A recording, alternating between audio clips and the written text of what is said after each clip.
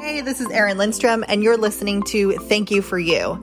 This is a show about celebrating and acknowledging our humanness as well as our beingness, the easy and the hard, the gifts and the gifts we don't really like but choose to accept anyway. This is a show about and for people in pursuit of more peace, more joy, more money, more justice, and more of the awe that life has to give us. Thank you for being here, and thank you for you.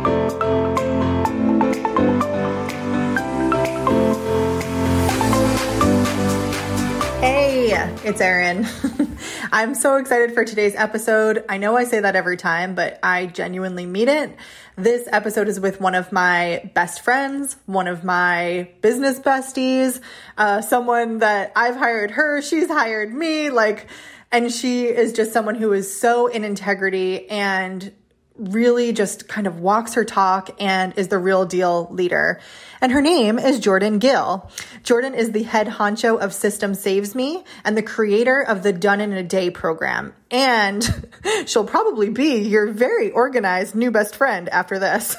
so over the past four years, Jordan built a multi six figure business helping doers, service providers, and CEOs get clear and organized in their business to scale their income, take back their time, and create the services, sales, and most importantly, the lives that they want. So without any further ado, I will hop on into it. This is a meaningful conversation where we talk about business and the most important part, which is you and how important taking care of yourself is. Um, 2020 obviously has been very challenging for many people. Um, and I think, you know, Jordan has seen many ups and downs throughout the year as well. And so just having her perspective and we talk about trust and faith and and systems and strategies. So I just think it's a really beautiful dynamic conversation and I hope you enjoy. Yay! All right. Well, Jordan, thank you so much for being here with me today. Yes, I'm so excited to shimmy and share and do all the fun stuff. So, thank you so much for having me. Yes. All right. So, to kind of like get us kicked off, you know, my favorite question is who are you and how did you get here? And you were welcome to interpret that as you wish, um, but would yes. love to hear a little bit about your journey to where you are today and even in this moment. Totally. So, I am a woman, uh, mm-hmm. uh, she, her, hers, and I. Um, it's interesting because I kind of identify myself in a lot of different ways, right? But one main way is that I am biracial. Uh, so you can't see my face talking right now, but you probably saw me on a graphic. And so my mom is French slash white, and my dad is African American. And um, so I am a biracial woman. I have owned my business for four years, and I am a college grad. I have my undergrad in journalism and my master's in executive leadership. Uh, I am a puzzle fanatic. I enjoy yes, good jigsaw puzzle or five. Um, and also the people at Starbucks and now recently Chick fil A both know my name. Uh, and so I was like, oh, shame. Um, but anyway, uh, you know, I. Uh, I'm somebody who, you know, is constantly growing, is somebody who is not afraid to look in the mirror and see who I'm staring back at um, or who's staring back at me. And my thought process on just, you know, where I've come from is there's a few specific things that have brought me to this point, I believe. One of which is I've moved around a lot growing up. So I've moved 12 times. Uh, I went to three different high schools, and um, the longest I've stayed anywhere was 12 years in Nebraska, which was when I was like two to 14. And, um, but where I call home is Dallas, Texas, where I live now. And um, I think that it always intrigues me when people have never left a place mm-hmm. when they went to K through 12, like, and they have the same friends and their parents are in their same house and they went to college in the town and all of that stuff because how I see the world, see the US, all of that stuff is so dynamic and I really appreciate differences in people and I'm actually very intrigued by them versus people finding their comfort zone and being comfortable there. Um, mm-hmm. I'm very mm-hmm. comfortable in the uncomfortable because, you know, when I went to college, it was like, well, that's just another move. Uh, I went halfway across the country. I graduated high school in Buffalo, went to University of Kansas, and I was like, all right, cool. Like, it's just a new place. There's more people there. Like, here we go. Uh, and, you know, moved several times then since then. And so that's one area that I heavily identify with and that I believe in building my business and you know stepping into my identity more is something that I consistently go back to and realize the significance of all of those moves and how adaptable of a person I am today. Yeah. That was a beautiful answer, number one. Thank you. Thank you. okay. There are so many jumping off points in there, too. I think the first thing that you said that really struck me was that you described yourself as someone who's not afraid to look in the mirror and like likes who she sees. And mm-hmm. that I think is like, holy crap, that's the ultimate goal. You know what I mean? Like forget about the business, yeah. forget about any of the outside stuff that like we're going for. If you don't have that, nothing else really matters or it doesn't feel as good until you have that, I think. Agree. Wow. 100% do you feel like you've always been someone who's like had that at your core or is that something you had to work on or work around or where does that come from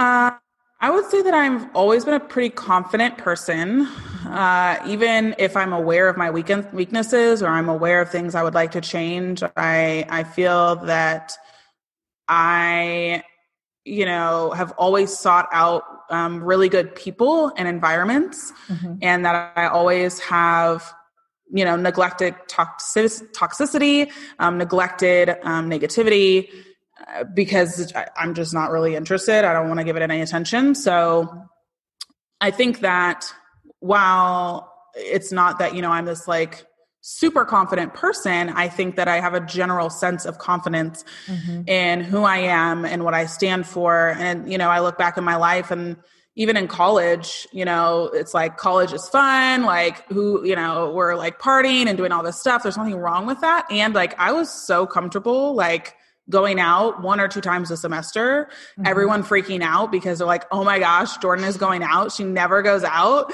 Uh, but I'm comfortable in my own skin, hanging out at home. And I don't think we had Netflix at the time, but whatever alternative whatever we did back the in the day.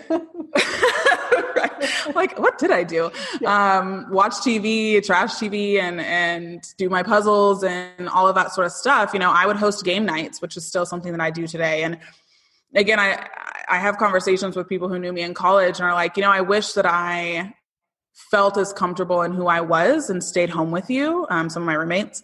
Um, and I wish that I was a, a, as comfortable as you in the sense of knowing what I enjoy and being okay with that being different than everybody else. So I mm-hmm. I think that I've I've always had that sense in the sense of just like it's cool if you think I'm weird, like it's cool if you think I'm abnormal. Um, yeah. Kudos. Like we all have our own quirks you know? yeah, and powerful. i love embracing everybody you know?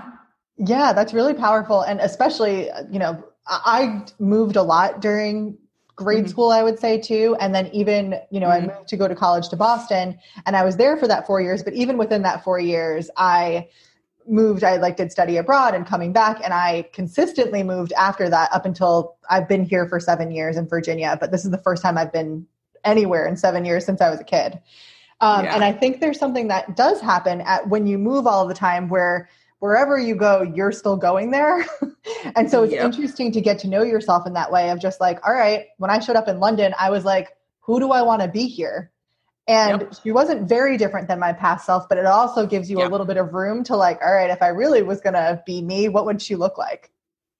Oh, yeah. Yeah. I totally agree with that. And I had never thought about how you do kind of step more and more into yourself every move because you kind of let go of the, the, what that environment has thought of you in that in that time and you go to a new environment and you can decide okay well I don't have to be this person or I can shed this layer of myself and nobody really knows, right? totally. And I feel like it's yeah. the same thing in the online business world, even with like networking and events. And I think mm-hmm. we first met in person at a live event, though we had met like on Zoom maybe mm-hmm. before that. Yeah, I think, so. I think you're right. in Baltimore. And um, yeah. and so you are like a super connector and you are great at going to events and like can teach people how to like be better at owning the room. and like I have a very clear picture of you in that room too, because like you were a cape and we're like the most fucking badass. Like, this is who I am. This is what I yeah. do. Like, how may I be of service? But also, don't mess with me. Like, and also, I'm yeah. so kind and friendly. Like, sit. You're not a mean girl. You're a sit with me person. Right. Yeah, I knew you were going to bring up the Cape. As soon as you? you talked about Baltimore, I was like, the Cape is coming out. the Cape is coming. That was the Cape trip. but it's interesting because to me, it sounds similar to when you're going into a new space and kind of making yourself. It's very much the same in um, it is. a business setting like that, where you're walking in That's and like so you get to choose how powerful you are. Yep. And, and, what does powerful mean to you, or like how true you are? Maybe yes. a better way of putting it. Yeah. So when, when you have clients or friends or people who are kind of like trying to find themselves different than you know putting on a cape to be like jordan unless that is a piece of them that feels right. like oh she inspired me to like be brave enough to do that. Do you have like advice that you would give to someone who's like i want that. Like i want to feel powerful walking into a room and uh i'm on my couch. You know what i mean? Like what's yeah. how do you go from one place to another? Yeah I think it really is as as um I don't know. Uh I don't know what I think this could be interpreted as, but I'm going to say it anyway. Mm-hmm. Is I think that your environment is one of the most underrated and important things. Um, and I think that a lot of people talk about the inward stuff, like we know, okay, believe in yourself, like do the mantras and stuff, right? And if you are not being reassured consistently um, through the friends that you have and through the colleagues that you have and the family you have, all of that stuff, then it is going to be exponentially difficult, more difficult for you to stand in your power because every time you do, you're res- having to fight through all of this resistance. And that doesn't mean that you find validation in everybody and um, your sense of worth. That's not what I'm talking about. I'm talking about you know what i said earlier about like i don't do negativity. You know i was i was talking to a good friend of mine and a good friend of both of ours Jerisha, yesterday. And you know there's a lot of stuff going on in my life and i was sharing everything with her and she reflected back to me. She said you didn't even really share any problems. Like you just shared solutions. Mm. i was like I don't think in problems. Like, yes, there's stuff going on, and here's how I'm handling it. Like, let's spend more time in how I'm going to create positivity and light and joy and these things in my life versus wallowing and you know um, just thinking about all the problems and how they're piling up mm-hmm. and that's not to say that you should just ignore your problems i'm right. going to therapy um, i'm doing the work and it, it really is important to then lean into those people in your life and the environment in your life whether it is like it could be as little as like a bubble bath with a candle honestly. Like if you are like my house is uninspirational etc go light a candle go into your bathtub and just be. Yeah. and understand like if that's where you like to be or go in your closet if that's where you like to be. Wherever a place is that you can feel supported by your environment that's where you should spend time intentionally. Uh, you know maybe every day every week i don't know the cadence but um, I think that I'm very good at um, protecting mm-hmm. my energy and protecting who is in my sphere and in my environment and not in a way that is I'm Jordan and I'm the best mm-hmm. in a way that is I want to not only be encouraged by other people but also be an encouragement to others and if that cycle isn't happening then it's going to be a problem mm-hmm. and so I think that, yeah, environment is one of those things that's so people don't think about it enough. Mm-hmm. And they also don't want to do that, right? If you have somebody in your life that you've known for years, maybe you were like, again, you know, friends, the longest friend I've had, well, I guess Justine, she's, she's somebody I've known since I was like straight up a baby. Mm-hmm. Um, but my next like closest friend was that I still talk to is like seventh grade. So it's like a gap from like K through seven, basically that like I'm not friends with anybody, which is okay. Mm-hmm. And so there are people who are like, I've known her since kindergarten, or like, you know, we've been in each other's lives for this long. And you allow for the length of time to be more important than the joy and lightness of your life that could be possible if this person is actually draining you energy mm-hmm. and it can be tricky family is like a whole nother thing that i don't even feel qualified to talk about but yes. as far as as friends colleagues uh, communities mm-hmm. it really is important to recognize when that season of that friendship needs to be let go mm-hmm. and it's okay or you need to just limit the amount of time that you spend with this person and because you don't think about how actually draining it is. Yeah, because you've never experienced it. Like you just this is my norm. This is my status quo. So it's hard to imagine what that's like. Mm-hmm. and i'm telling you that it is one of the most refreshing experiences to stand up for yourself and to say yes to your joy and let that person go Mm, hmm Which I, I think is not the answer people want to hear. 100%. It is uncomfortable. But I think yes. what happens is that for so long, we make the choice to make ourselves uncomfortable instead of the person. And by making yep. that choice of like, I need a break, it's so like I'm choosing myself versus you. And I'm choosing this moment of really intense discomfort for the future of peace and yep. like that's a hard decision to make and it's interesting because so because we're talking about this in the friend world right now but i feel like this yeah. also mirrors right over into the business world and like a lot of i remember one day you said um, we were talking about so systems saved me is the name of your brand yep and I forget what was going on because life is life, but like things were happening mm. and we were talking about like, all right, what do we do? And it came back to like you making your bulletproof coffee and like the way mm-hmm. that you mm-hmm. do that in the morning like is a system that like makes you feel safe and supported and like nourishing to yourself and yeah. i feel like not only is that that's just in your life but the way that you yeah. kind of teach people to build their businesses is on those same value system that you're talking about building your personal life with yep. and i just think that's, that's exactly like right. beautiful and amazing and like refreshing because like that is not what we typically talk about or see. Yeah, that's so true. Yeah, I think that, you know, when people think of support or even self care, they're mm-hmm. like, okay, a candle. Right. or, um, you know, good back support, you know, right. in my office chair, yeah. a massage, like those sorts of things. And you're missing out on, uh, you know, I'm not I don't know if I even want to put a percentage on this, but I feel like 80 to 90% of where you're actually getting support. Mm. Um, which is again the people and the environment in which you're in. Um, mm-hmm. and that can again, you know, if you are in a space that doesn't light you up, and I'm talking even literal space, like your home office or your dining room table or whatever that is for you, like if you can eat it's like the littlest things. But for me uh, you know it's it's really important that i have these specific candles that i buy from evil um, evil queen yeah, yeah. that i'm obsessed with that i will always have on my desk forever and ever. I have a very specific pen here. There are no other kinds of pens in my entire house. If i see it i will throw it away call me wasteful, you know, call the environment police. it has to be this pen because this pen makes me write better. It just, it, it's silly maybe, mm-hmm. right? But I have an attachment to this pen and this type of pen that I have hundreds of them at my house.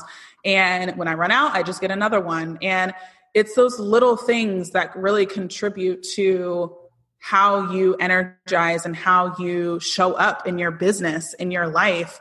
And again, I'm not, it's a pen for kind of this. I don't know. This is like five cents at Office Depot. Right. Um, right. I'm not asking thing. you to go out. Yeah. I'm not asking you to go out and buy the most expensive computer or the best ergonomic chair or whatever else. Like it can be those little small things that you see and make you feel alive, feel powerful, feel smart, feel brilliant, feel excited. Um, yes. And again, the same thing with people. Like, are you in communities? Are you in group coaching programs? Are you in masterminds that excite you to be in there because the people in there light you up and fill you with love and light and joy? Mm-hmm. If the answer is no, make a change. Yeah. yep. Make a change for sure. It's so true. And I I love the example of the pen, especially because a lot of times it can feel like okay, if you want personal development, if you want to feel amazing, great. It's $2,000 to start. Right. Yeah, and you'll need this equipment and you'll need this perfect light and this, all of this stuff, right? Stuff, and yeah. I think there's room to really value your stuff. And like you can make changes that are very um, either low investment or no investment. And like okay. to me, that's part of where the change starts is if you're sitting in a room that's totally cluttered, you don't need to go buy a new house or to have the mansion yes. on the river to feel good. Like tidying yes. up what you have is such a energy shift in that. And then you add a yeah. plant for $5, which changes your life. And like, then you get a new table setting that like feels really empowering. And there's all these little teeny tiny tweaks are in your surroundings, whether it's your house, your bedroom, your anything and mm-hmm. all of mm-hmm. that crosses over in your business too like you do not need necessarily the $15000 program you might need the $15 yeah. an hour assistant like so yes. what is support and how much does it cost to have what you want and to feel good is so like step away from the marketing for a minute and like look for step the away. meaning is what i feel like you're saying Oh, 100%. Like it is about yeah. significance. It's not about, mm-hmm. you know, the show poniness of everything. You know, I have upcoming a launch and I sat down and thought about what would it feel like for if I can make I have a, a goal of a certain amount of people that I want in my group coaching program that asserts to a very significant six figure number. Mm-hmm. And I was said, what happened for me to be able to like be that person and i'm going to do those things today and a few of those examples yep. where i wanted a professional chef for the weeks of my launch and i did my research i'm a fact finder i go in like find my people and i found a personal chef who cooks organic and i have certain dietary restrictions like gluten-free dairy free egg free and the mental energy that I have to put into food is like really draining for me. Mm-hmm. And so I found a personal chef who's like $200 a week for five lunches and five dinners of amazing, like ethnic. She's going to do like Indian and Moroccan and like all these foods I love. Literally just going to be in my fridge. I pull it out, I heat it up, and I eat it. Like, mm-hmm. and so you know, most people think private chefs are five hundred dollars a week or all this stuff, and and I spend easily two hundred dollars of food a week on myself.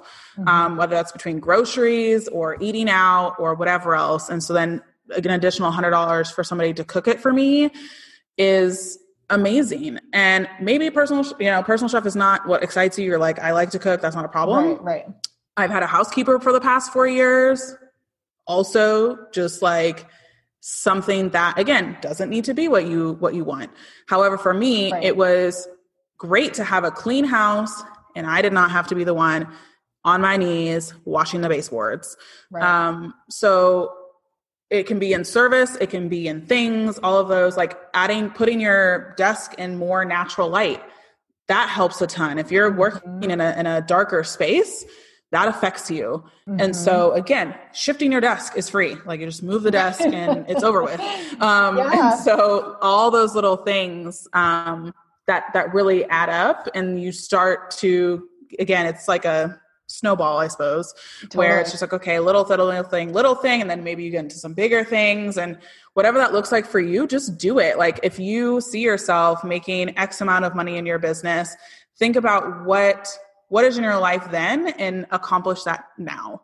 I and what that. is in your way of accomplishing that now. And again, you know, I'm not here to, to talk about necessarily money mindset and budgeting and all the things. However, you know, is it scary to think like, oh my gosh, like I'm spending $200 a week on personal chefing. And then when you actually look at the numbers, you're like, I'm actually saving money doing this mm-hmm. and time because I'm not having to go to the grocery store and right. all the things. Like, so then you can kind of bring it back down to reality of just like, why am I resisting this? And then let me actually look at the numbers and realize that it's actually not yeah true. Yep. I love the question of why am I resisting this? Because the, the truth is yeah. like we all have choices, right? And like yeah those you were so clear on your choices and like what was the value there and what's the trade and i think for some people in the beginning part of their business it's like i can't trade anything for money at this point because i'm right. trying to do that and so then focusing totally. on all the things that you can do to just make yourself have more time to make the money cool yep. Then you get into this place of like all right i have some money i need more time and like there becomes this new exchange and a lot of the times when we are avoiding something it's because of outside lessons that we've learned a lot of the times as kids. And then as adults, it's like, I refuse to hire, not me personally, but as an example, I refuse yes. to hire a house cleaner. And it's like, oh, that's interesting. What's that about? Like, it's too much money. Yep. Oh, how much is it? $200. How much do you charge? $2,000. You think that's too much money? You know what I mean? So like if you're exactly. charging 2000 and someone else is charging it's so just like all of the the numbers and how much money could you make if you had two hours in a clean space? Like, what can you create, right? Oh my gosh. So yeah. there's there's so much available when you're really in the creativity and really receiving and even letting people help you or having those nice things that is receiving and so a lot of times even mm when we're feeling really like um uh i can't think of the word um like constricted because we like need yeah. a sale and we're feeling in lack letting yourself have something actually opens that up if you can let yourself receive. So oh, like oh, totally. Yeah, I think asking yourself just okay, where can I receive a little bit more today or what support can I receive? All of those things are really important. Yep. Yep. Um so another question I have for you a little bit to the left of this but I think still mm-hmm. in the realm of creation and creating the life and business that like feel good to you. What role would you say that faith plays in your like mm. decision making process and just kind of like business and life creation? Oh man. Uh, faith is everything to me. Mm-hmm. Um, Maybe I think with- at there are a lot of moments in life where you are going to have to take a leap mm-hmm. and you can't see a net. And it can feel like you are trusting air like mm-hmm. you're literally trusting just air right um and for me what you know my faith is that i'm a non-denominational christian um so i believe in god jesus and all that fun stuff and i have a personal relationship with god and when i first went into business, I went into it um, not knowing what the hay was next. Um, I was in a role that that I enjoyed. It was for an online business owner. was making good money. I was able to travel the world. She didn't care where I was. It was very flexible. And um, God told me one day to leave. Mm. Um, there was no like, hey, you know, just like warning next year you're going to be leaving. So like prepare. It was like, no, you need to leave. and um, it, it, was very scary. I am a type one Enneagram. I am a planner uh, by nature. And so for that to be a message I needed to receive was uh, very scary.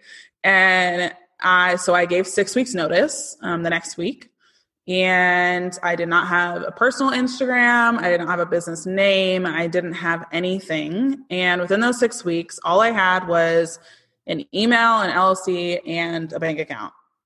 Mm-hmm. And I was able to secure $12,000 a month in recurring revenue. Wow. And I was making like 3,500 a month working for this, this woman. So again, with faith, it's you always have to be thinking that if you're getting a message or if you're getting a, a tinkle or twinkle or whatever you want to call it it has to be for a reason that's better than what is currently happening for you. Mm-hmm. And if you truly, truly believe that it's going to be worse, then it will be worse. Mm. So that's really where faith comes in. Um, and you know there's there's a, a verse hebrews 11 1 that talks about faith is is knowing what you don't see. And um that's truly what it is. You just mm. are out here blind blinded by faith right? There's a lot of language around there where right. it's not tangible. You can't feel it. You can't see it. You can't smell it uh, taste it. So when it comes to to faith in my business you know there's so many so many stories similar to to that leap of faith that i've had to lean into god and he has always provided mm. always like even if it was just like i got a random check that i paid too much on my state farm insurance or whatever like and then randomly i have money mm. um, to cover what i needed um, you know or again i go to a consignment shop and all of a sudden they're taking all my clothes and giving me $200 like just things and you know, I can't say that that's just happenstance or that's, you know, just life. Yeah. Um, I think that there's there's so much bigger at play um, when it comes to faith that uh, you know I I lean on faith very very much in my business. Um, and while I don't, you know, I don't have like a Christian based business or I'm not, um, uh, outward about it in that sense, it is 100% core to everything that I do in my business um, mm-hmm. and in my life. But yeah, in both. Yeah, I think it's so interesting because uh, everyone has their own kind of like version of spirituality or some sort of aversion to spirituality, it sounds like to me from yep. conversations that I've had with humans. Um, and while I think religion is a thing and people have certain mm-hmm. feelings about that, this idea of like faith and interconnectedness and the fact that like, yes, I trust myself to do all this stuff. And then also there's probably something outside of me. Like this isn't just me in a vacuum, right? Yeah, and I think not. it's fascinating to hear just like how that works in with different people. Um, would you say that since that like first initial, it sounds like the first like really big leap of faith um, and stepping mm-hmm. out, do you feel like those leaps have gotten easier over time? Oh yeah, they get a lot easier. You think? I believe so. Yeah. Um, for me, they have. I think that. Um, let me say this: they're not easier in the sense of there's still maybe hurdles to mm-hmm. overcome. I mean, easier in the sense of when you are presented with them, mm-hmm. you can either go in obedience or you can mm. choose not to. You have oh, a choice. got chills. Yeah. And I'm like, listen, if I know anything, this route sounds crazy, but this is obedience and that nudge, that twinkle, that whatever. So I'm just gonna go with it, as cuckoo as it sounds. And um, it's it is so profound the responses and the experiences that I've had in obedience mm-hmm. that it is it, it has become much easier for me to at least say yes to the obedience right um, and then you know deal with with the the disbelief the belief systems and the and the um the difficulties of actually action right mm-hmm. um but i think it's been easier for me to say yes to obedience and uh again in the action there may still be some resistance but i know that i'm just taking it one step at a time at that point mm. Do you have anything that you would say to people who are kind of like figuring out the whole jumping and leaping or whatever you call it, like with faith, with trusting yourself, betting on yourself? Like when you're mm-hmm. starting this, so much of the world is set up for you to um, go to school, get a job, get married, have a baby, live happily ever after, and maybe retire when you're 65 and then enjoy your life.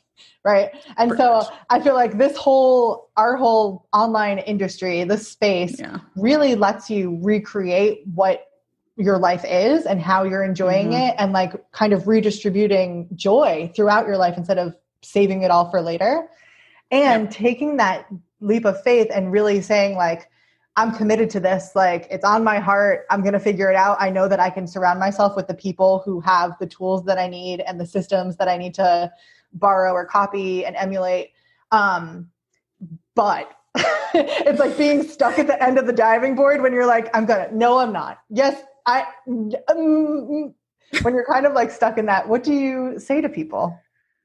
Yeah.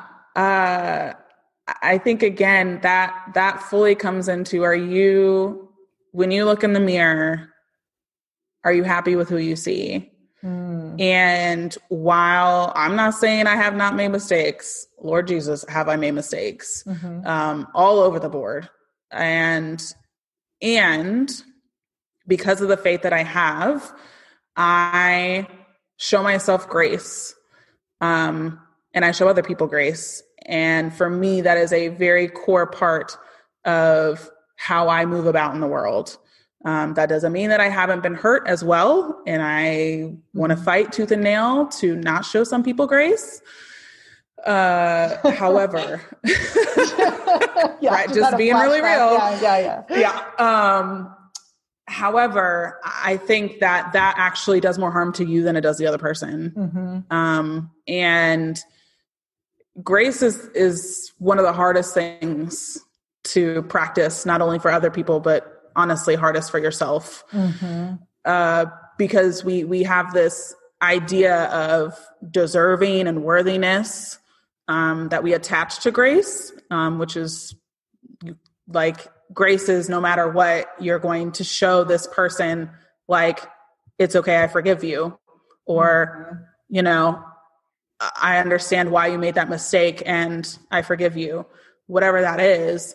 And um, I think we haven't been shown grace enough, just generally speaking. And so then it's hard for us to practice that. Right. Uh, when you have been awarded grace, uh, it's one of the greatest gifts you can give people, mm-hmm. honestly. Um, grace and presence, I find those two things are gifts that you don't get very often generally. Um, mm-hmm. And so for me, it's really important that in interactions with people, in conversations with people, they feel as if I am being 100% present, that I'm not thinking about what's going on, all the things I got to do today, all of that stuff. Like I'm zoned in in the conversation. And whether it's in person, whether that's in a podcast interview, whether that's whatever, because I want to be an example of presence. And I want people to think about, you know, it's not like I don't have other things to do or to think right, about. Right. Um, it's that I'm being intentional with showcasing presence and what it looks like when you experience that because it is a gift. You know, we've all been in rooms where people are got 1700 things going on, they're not really listening to you. They're like, "Yeah, yeah, like cool, whatever." Um, and that doesn't feel good. Mm-hmm. And so because I also am a quality time love language person, presence is very important to me. Uh, and that's how I feel loved. And so, therefore, I also want to show that to other people as presence and grace and, and whatnot. You know, when people come at you, is the first thing you're doing just lashing back out and thinking of the first hurtful thing that you can say back that's going to one up them. Mm-hmm. You know, what is, what is that really doing? Are we in high school? Like, let's cut it out. Um, what you can do instead is step back for a second and think, oh, like this person is trying to hurt me, meaning that they most likely have felt hurt by me first. Mm, that's an interesting perspective. Mm-hmm. And so if they felt hurt by me first, and and you know, in my relationship, I guess is the easiest example. Um, I have to think about, okay, what have I done that has disrespected you? Is usually one of my first questions that I ask. Um, more than thinking of, okay, how am I going to just like, you know, get back at you sort of thing. It's, or what is, what is it that I'm doing that is, is unloving to you? Um, mm-hmm. and so that we can actually get to the, to the thing that's actually yeah. bothering you. Um, and is it a point then, okay, you know, extend grace to me because I didn't know that that's what I was doing? Or do I need to extend grace to you? Like, where are we in this, whatever, dance um, of, you know, some sort of miscommunication or whatnot? So I think, I think that, again, it does get easier to say yes to obedience mm-hmm. um, when you are more and more comfortable showing yourself grace. And mm. the way mm. to show yourself grace more is to show grace to other people. Um, and then it, again, it just gets easier and you understand it more rather than just being like, oh, all of a sudden, whatever, I get it. Um, you know, action is, is what actually will make it happen, not just like your thought and intention. Mm. That's so good and so beautiful. I love the concept of when you're going through something like that, kind of pausing. And it sounds like what you're doing is almost looking back instead of looking forward to like, instead of getting out of the disagreement, you're like, why is this happening? And that yep. like solution mindedness that you bring through in all that you're doing in business, but also in personal relationships where it's like, okay, clearly you feel hurt about something or you wouldn't have your dagger out trying to hurt me. So like, yep. let's try to put our daggers down which is that grace component, rather than yep. here's how I fight. Yeah. And it's exactly. yeah, it's so interesting. Um, I love too the just the concept of that like if you want to have more grace for yourself to give it away to others. Yep. And that to me feels like such a mirror of like an abundance rule too is like if you want to yeah. receive, give. Like if you want to sell, serve. Yeah. Um, so I just love all of that. It's so um, important and poignant. Yeah. Uh, well, I love you and I appreciate you so much. And I feel like this insight, it's funny because when when I think of you and business and systems and processes and done in a day and like the level of efficiency, right? Like is one of the first things. I think about with you and also integrity and also kindness. There's so many things. Um, but this has been like a really beautiful conversation because I think so much of what allows you to show up like that and for everything to be so streamlined is this like incredible inner work of knowing your values and being in integrity with yourself and then really being able to like problem solve in a way that's amazing and then you mm-hmm. get to mm-hmm. like take these leaps and create and you know serve your clients in a way that feels good which i just find so beautiful yeah i know it's it's you know the systems i love systems. I can nerd out on them you know all day long and they serve a purpose and that's because i want to be more present in the people in my life. I want to take the time that i need if i need a mental health day or whatever the case may be. And so why build a business that is not in support of that? Why create friction and clutter where it's not needed? Um, and so that's where you do have to think about what am I doing here? Why am I even doing this? Like, what's the point? Right? Like, would it be just more fun to go to Starbucks and not think about my work when I leave? Maybe. However, right. for me, like, I love my business. I love my team. I love my clients. Like, I, you know, I, I think about how blessed I've been really with the the clients that I've had and everyone for the most part is lovely and you know has been such a, a wonderful addition to my life that you know the hiccups that come as i do it's like okay you know my business i'm still going to continue to do my business. And we that doesn't mean we all don't have those you know moments where we're like okay i should just go and you know be an administrative assistant and you know highlight some stuff. Um because we all have that. And I think how you get through that is really actually building a business that is evidence of that's actually not going to fulfill you. Mm. Like this business is what is fulfilling you and not in a way that it's all that you have in your life. Mm-hmm. But you think about how much time people dedicate to their work or their careers over years and years and years and years. That's where you spend the majority of your time. Mm-hmm. So like you should want to look at that and say how do i actually want to spend my time like mm-hmm. how do i mm-hmm. actually want to feel supported and be excited about my business instead of just like all right like i'm just going to build this because so and so is making a million dollars doing it yeah i dismiss that wholeheartedly and I punch it in the throat.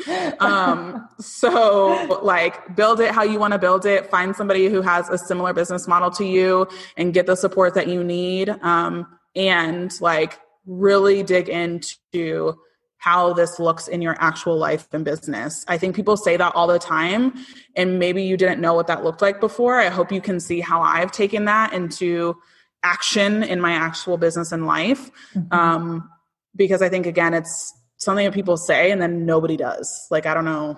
It is. It's a is. very, like, you don't really get it until you get it. You know what I mean? And so I do think that there's a lot of times, like, with marketing, it's very much here's the answer. This is what you need. And if you don't know yourself first and or you know what even if you do because you don't have to do this perfectly you can go buy it and then figure it out as you go. Oh, but no matter what your journey is like at some point to have your business feel really good you have to know who you are and what feels good to you. And from there you can start to make those decisions and really clean out the people around you so it feels like you are in a supportive environment and that your business is really supporting you versus you just kind of holding it up and if that's what you're doing with all of your relationships right now uh, that's a mirror. it is. Uh, sorry, not sorry. Yep. Yeah. Uh, all right. Well, thank you so, so much for this conversation and for your time. And thank you for you. Yes. Thank you so much for having me, Erin. This was so much fun.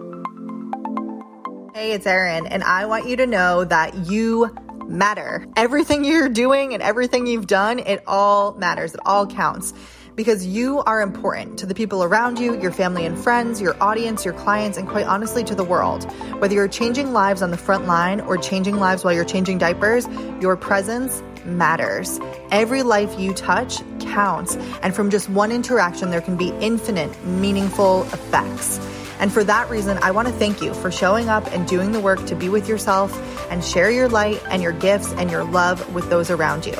If you want support with any of this human being stuff, you're always welcome to join me inside of my coaching membership, Human Being Club, at humanbeingclub.com or follow along with me on Instagram for more behind the scenes silly stuff at Erin Lindstrom. Once again, thank you for being here and thank you for you.